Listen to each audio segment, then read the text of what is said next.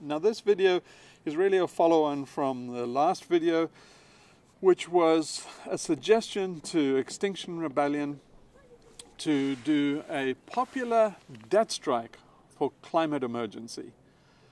Uh, the reaction was mixed and I got the strong impression that people didn't really understand uh, the subtleties behind what I was saying. Okay, I'm going to explain the subtleties to you. If you could stop greenhouse gas emissions almost instantaneously, maybe within days or weeks, and to do that, you had to implode the global economy, would you do it? So the first question to ask is Am I just posing a false dichotomy? Is it a question of the economy versus saving the planet. And I'm saying that's not a false dichotomy. Really, those are your two choices. The Industrial Revolution has caused the greenhouse gas emissions, and they are causing the environmental destruction now that will lead to species extinction in the near term. Up till now, the debate has been upside down. The debate has been Okay, let's just say that on this hand we have a Fabergé egg. It's irreplaceable. It's planet Earth. We don't have another one. If this gets broken or dented or even slightly cracked, we all go extinct. So you can't experiment with this. You you can't it's sacred. You can't basically make any bets that are not infinite on it. Any bets that you make on this Fabergé egg are effectively an infinite bet. Okay, that's what you have in this hand. Now, in this hand, you have the global economy, you have the industrial economy, the military industrial complex. Now, this is a man made invention. You can kick it around, you can melt it down to the ground, it can collapse, and you can recreate it again. It collapsed in 1908, it collapsed in 1929, it collapsed in 2008. In fact, all it really does is collapse and rebound. It's a rubber ball. You can recreate this at will. We've had economies left and right. Uh, there's nothing special about an economy. It's definitely not sacred. You can experiment with it. Uh, all it does is cause a bit of harm to a few people temporarily. This is not a Fabergé egg. This is a Fabergé egg what economists, what the establishment, what politicians have been saying is that you cannot touch the sacred cow, the economy. That's a thousand dollar bet we have down, and that cannot be put at risk because of this infinite bet that is the Fabergé egg. First of all, you have to prove to me that the Fabergé egg is at risk, and I need to see the science, which should be the other way around. In order to have an economy, the burden of proof is on you to prove that that will not damage the Fabergé egg. The upside down world, where you have to prove that the economy is going to cause harm, is completely nuts. To have an economy, the burden of proof is on you to prove that it won't harm the planet. Now the science is in. The science says that the economy not only cracks the planet, not only dents it, it blows it completely away. And soon, catastrophically. So we have a gun to our head. That's an infinite bet. There's no bet on the economy that you can make that is comparable to the infinite bet you have where everything's on this table.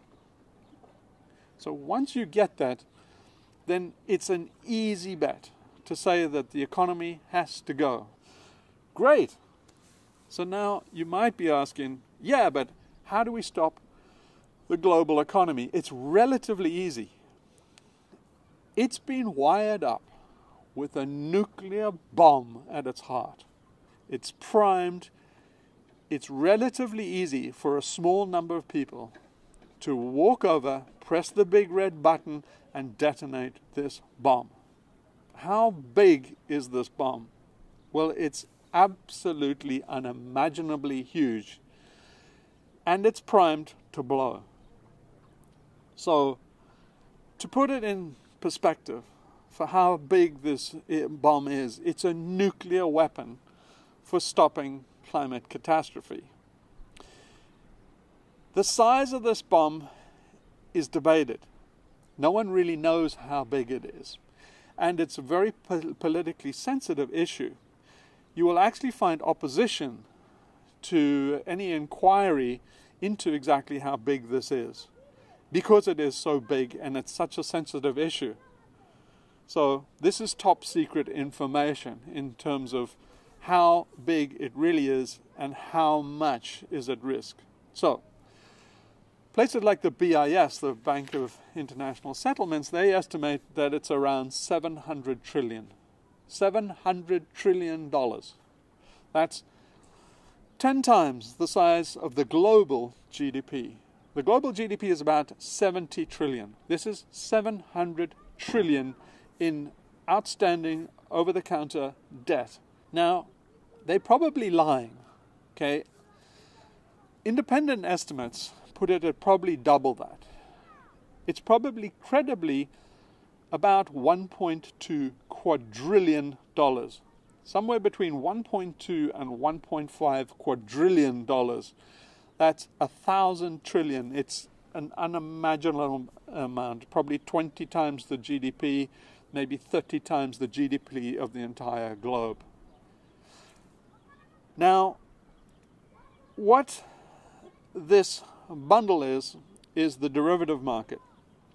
Warren Buffett in 2003 called it financial weapons of mass destruction.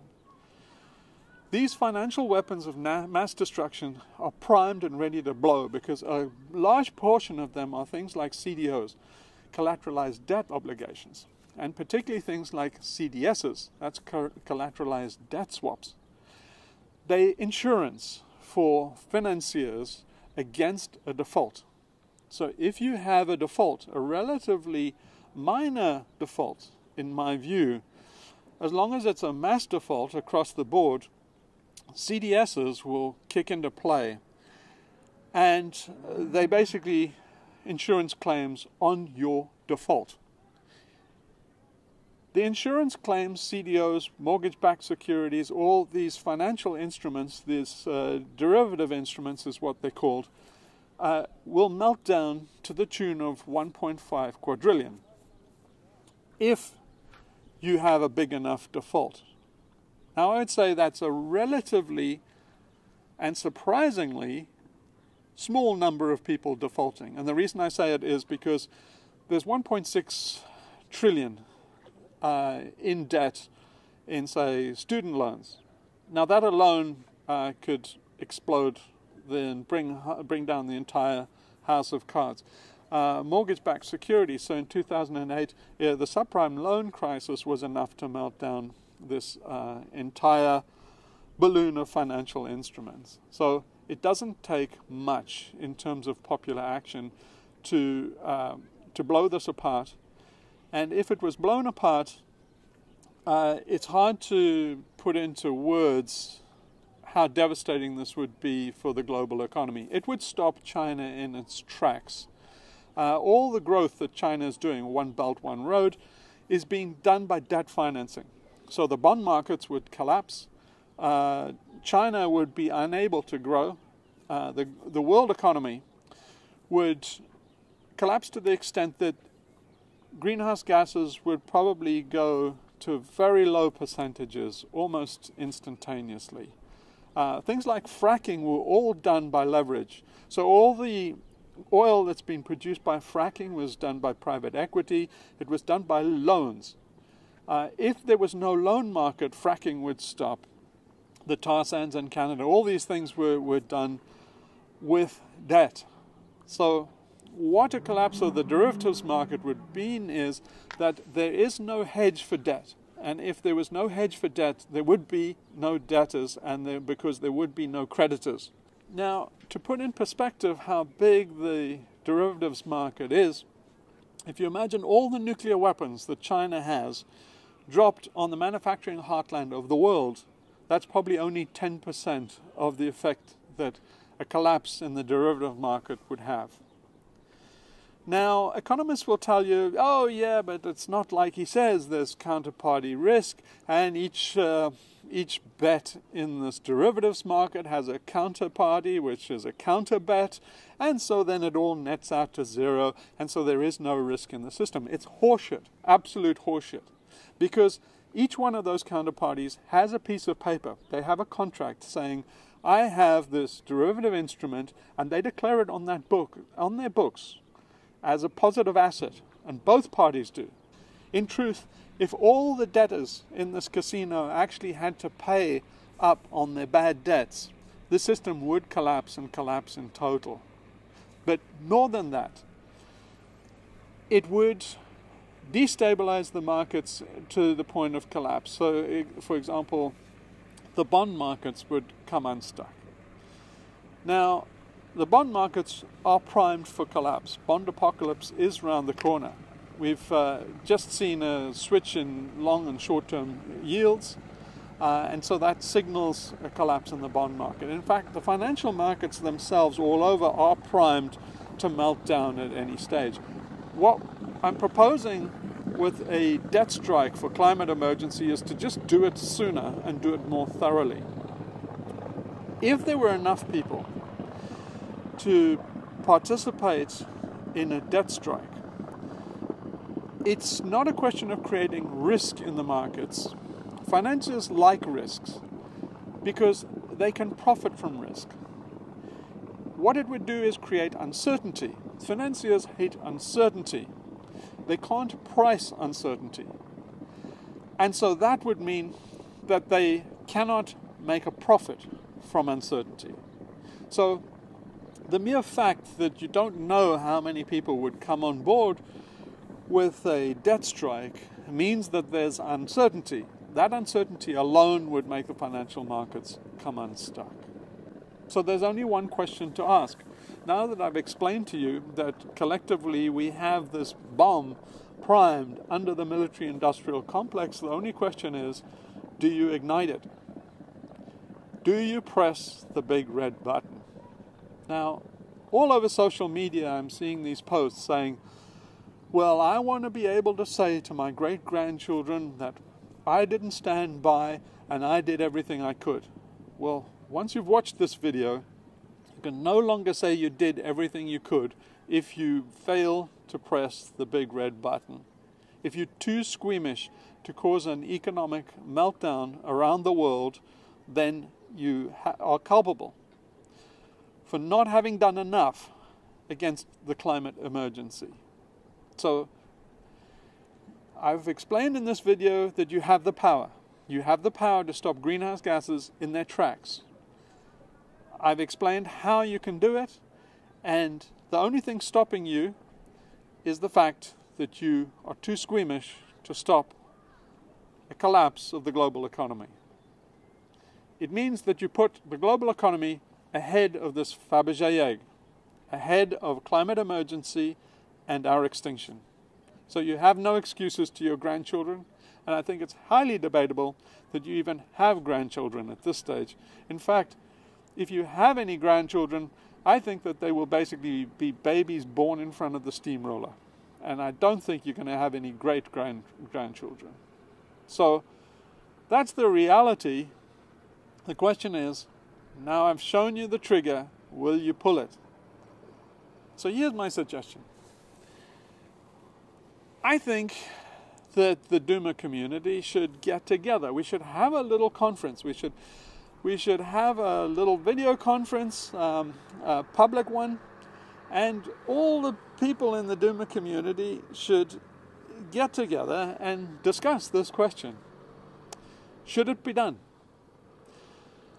So, yeah, I think that Environmental Coffee House, Sandy, and uh, Collapse Chronicles, Hambone, um, Black Bear News, uh, Torsten in uh, Going South, I think we should all get together, have a video conference, public discussion, and decide whether this is something that should be done. Should we detonate this nuclear bomb now that you know that, exi- that it exists. Uh, and I would propose that the next thing to do is, if people agree that we should do it, then the next stage is to go and find some uh, people that are trustworthy to estimate how big a movement this would have to be. In other words, how much participation would you need for a debt strike? How big would this debt strike have to be in terms of dollars and in which sector, which kind of loans, uh, for it to melt down the derivatives market? And I would, some names come to mind. Uh, I would suggest think, people like Nassim Taleb, uh, Max Keiser, Stacy Herbert, maybe Yanis Varoufakis. I think as a community, all the Doomer tribes could lobby people like that to just weigh in with an opinion on whether a debt strike uh, on November the 5th would be feasible to melt down the global economy. And if it is feasible, how big would it have to be? Then, if it looks reasonable and doable, then I'd say we go on to the next stage. And the next stage, in my view, would be to get celebrity endorsement. So to get uh, sponsors and celebrity endorsement, and then to go ahead with a campaign for a debt strike for climate emergency. If we leave it up to people like uh, XR, you can see them going off track uh, already. I, I, mean, I see them talking to politicians uh, as if this is going to do something. Like, if you're in XR, understand this the problem is beyond politicians. Politicians cannot do anything against growth, they cannot do anything against the global economy. They can't damage the football in any way it's a sacred cow that they cannot touch. So, talking to politicians about climate emergency is a complete waste of time because the only action that is possible to mitigate climate emergency is to affect the economy, and that's out of their power. They do not have the power as politicians to damage the economy. You do. And the means you have to doing that is a debt strike, a popular debt strike, particularly in America. It would halt uh, China. It will hold China in its tracks. China, the infrastructure in China is being built with debt financing. They're about to go out and get a huge amount more, of more debt. One Belt, One Road is being funded with debt. The scramble for the Arctic is being done with debt. So China would collapse if there was a collapse in the debt markets. China's growth is predicated on debt. So, yes, you have to stop China to stop greenhouse gases. China and America can be stopped almost instantaneously with a meltdown of the global economy. And that's probably the only way this is going to happen. If there's a meltdown in the global economy, then you can start talking about all these crazy schemes like Green New Deals. See, the problem with the Green New Deal is that Roosevelt's Green New Deal was a plan to build up after collapse. So after there was a complete collapse of the economy in 1929, then the Green New Deal, or rather Roosevelt's New Deal, was a plan for how to build the economy back up again. Now, I would say we shouldn't be building the economy back up again, but I'm sure that uh, liberals and uh, the bourgeois uh, would love to build it up again. So you first have to break the economy down and then you can propose a Green New Deal for how to build it up. You see, otherwise, uh, conservatives are just going to say, look, it ain't broke. What are you trying to fix? Someone like President Trump would say that this is the best economy we've ever had. What are you trying to fix? What is this band aid for? They don't believe that there is a climate emergency because they don't want you touching their sacred cow, which is the economy. I'm proposing we kill the sacred cow and then we have their attention. Then the discussion is do we revive the sacred cow? And if so, can it be revived in a responsible green manner? In other words, with things like a Green New Deal. You cannot get this crack habit of the global economy and transform it. There's no methadone to replace this crack. There's no such thing as sustainable development. It's an oxymoron. All development requires growth. You can't do what the economists say. The economists will tell you, well, yes, we can't have any more quantitative growth, but we can have qualitative development. That's nonsense. If you're Chinese and you want to increase your standard of living, you can't have somebody say to you, well, you can't increase your standard of living by quantitative development. In other words, you can't have more stuff. You can only have more quality of stuff. In other words, qualitative development. It's absolutely meaningless. To increase your standard of living as a Chinese, it means that you need a car. It needs that you need more electronics. It means that you have to start eating beef. It means that you have to start eating more meat. That's what mean what it means to increase your standard of living. A qualitative increase in your life requires more stuff. And that requires quantitative development. So there is no green economy. The only way to make people's quality of life improve is to have more stuff. If we have more stuff, the only way to produce that stuff is with more consumption and more emission. So, the only way to save this planet is to stop consumption and stop emissions. It's as simple as this. Let me explain it so that Grandma can understand it. You've got to stop working and you've got to stop shopping. That's it. So you may say, well, what are we going to do? How are we going to survive if the global economy uh, uh, collapses? How people are going to eat? Well, it's going to collapse anyway. At some point in this climate emergency, collapse of the global economy is built in. So I'm just saying, do it early. Do it deliberately. While there is still something of the planet left to save, there is still something left of the planet to feed us. If you rely on centralized mass production and distribution of grains to feed the planet, we are in serious, serious trouble. It would be more robust if you destroyed the global economy and forced people to find other means to feed the world because it would be distributed production and it would be closer to something that is a sustainable lifestyle. It wouldn't be a lifestyle close to your standard of living today, but that standard of living is going to burn down to the ground anyway because of the climate emergency.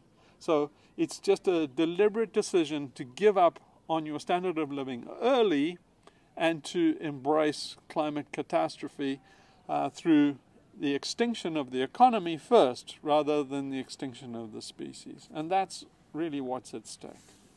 So, as usual, I look forward to your comments.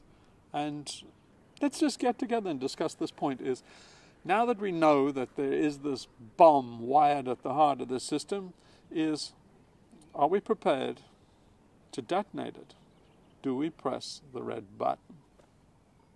I say we do. What do you say